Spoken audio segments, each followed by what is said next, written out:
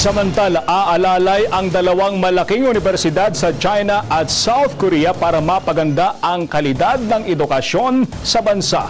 Nagbabalik sa report, Kristen Kim.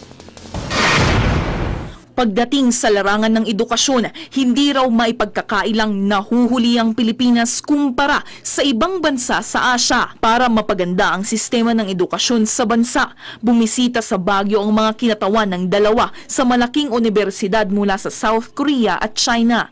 Bahagi ng kanilang misyon ang pagbabahagi ng kultura. Uh, student exchange will be the crucial. We want to give them the bigger and diverse opportunity.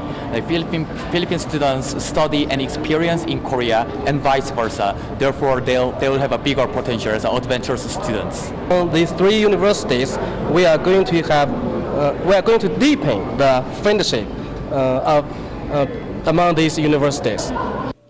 Lumagda sila at ang pamunuan ng University of the Cordillera sa isang kasunduan. Nakasaad ang mas mabilis na pagproseso sa exchange student and faculty program. very any anytime you establish relationships with even just local universities or international universities you bring in new ideas new ways of doing things we're always learning from each other Balak na ring magbukas ng museo sa Pilipinas, China at South Korea para maipakita ang kani-kaniyang kultura. Kinakausap na rin ang kinatawan ng bansang Vietnam at India para sumali sa programa. Christine Kim, ABS-CBN News.